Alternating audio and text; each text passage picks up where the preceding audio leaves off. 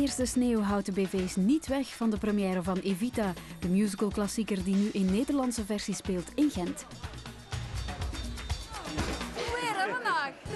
Oh, wat een circus, oh, wat een show. Heel het land is in diepe rouw. Deze dode actrice Evita Perron.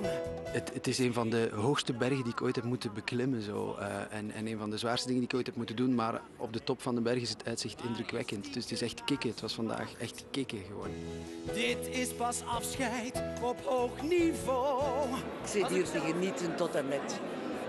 En als ik dan oud-leerlingen bezig zie, het meisje die Evita speelt, en Jan Schepers en de anderen. Ik, vind, ik vind ook de choreografie heel mooi. Ja, ik vind het heel goed. Het doet mij, ja, denk ik toen ik klein was, ik ben eigenlijk opgegroeid met dat liedje. Mijn papa zei altijd van, eh, zing eens van eh, Don't Cry For Me Argentina. Hij hoorde mij dat heel graag zingen, dus eh, ik heb daar echt wel herinneringen aan.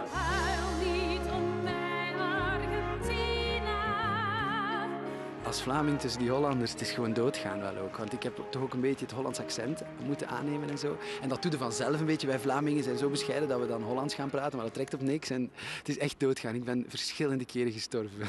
Meneer had de eer om als eerste die keer klaar te mogen staan voor Eva Duarte. Als de maan aan de hemel staat duizenden sterren zie. Ze hadden deze musical bijvoorbeeld ook in het Engels of eh, in het Spaans kunnen eh, spelen met vertaling.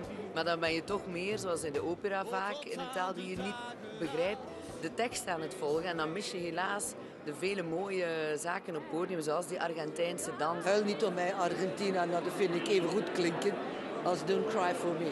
Nooit heb ik goed kunnen zeggen. Nee, ik heb, ik heb daar geen enkel probleem mee. Een goede vertaling werkt even goed. De beloning als je dan zo'n première speelt en, en het publiek dat volledig uit de bol gaat op een première, ehm, is, is ongelooflijk.